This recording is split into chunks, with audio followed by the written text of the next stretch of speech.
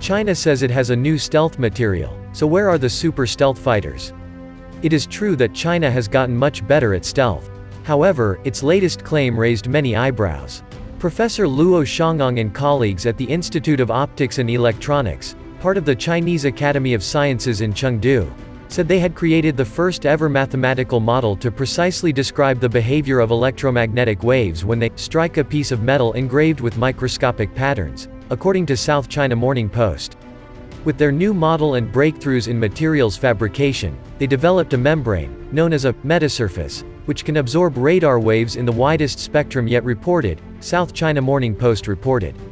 At present, stealth aircraft mainly rely on special geometry, their body shape, to deflect radar signals, but those designs can affect aerodynamic performance. They also use radar-absorbing paint, which has a high density but only works against a limited frequency spectrum. In one test, the new technology cut the strength of a reflected radar signal, measured in decibels, by between 10 and nearly 30 decibels in a frequency range from 0.3 to 40 GHz. A stealth technologist from Fudan University in Shanghai, who was not involved in the work, said a fighter jet or warship using the new technology could feasibly fool all military radar systems in operation today. Luo's claims and breathless comment on their implications do not constitute a major change in the way companies develop stealth warplanes or the military balance of power among operators of such aircraft. That's because the metasurface Luo is working on is just one example of type of metamaterial that has been the subject of research all over the world. It's not terribly new. If and when it begins to appear in frontline aircraft, it could improve stealth qualities in a wide range of aircraft on both sides of the Pacific Ocean. Metamaterials have been a popular research subject for more than a decade, Financial Times reported in 2018. Metamaterials first captured the public imagination in 2006, when John Pendry of Imperial College published two papers showing how to create a Harry Potter-style invisibility cloak using the specially engineered materials.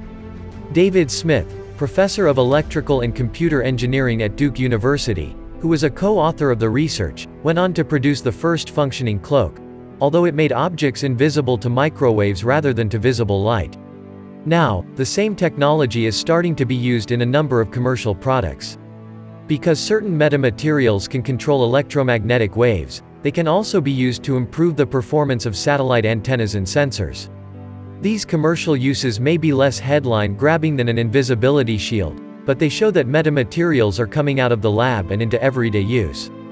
These are the earliest pushes, says Tom Driscoll, Chief Technology Officer of Echodyne, which makes radar for drones, one of the products that uses the emerging technology. It is a time when people are starting to emerge from their research or stealth development phases and ship general availability products. Lockheed Martin, which makes the United States military's F-22 and F-35 stealth fighters, is a big investor in metamaterials. In 2017 the company partnered with a Canadian firm that produces lightweight metamaterials for solar energy applications.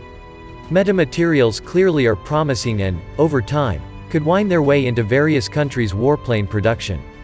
But they are not revolutionary. South China Morning Post in a 2018 story gave voice to the skeptics. There is debate in the research community about the value of metamaterials under development by a research team at Southeast University in Nanjing, the newspaper explained. There is not a clear-cut definition of a metamaterial, so not everyone in the research community agrees with their claim, a researcher with the Chinese Academy of Sciences said. The consensus is that their product still has a lot of room for improvement.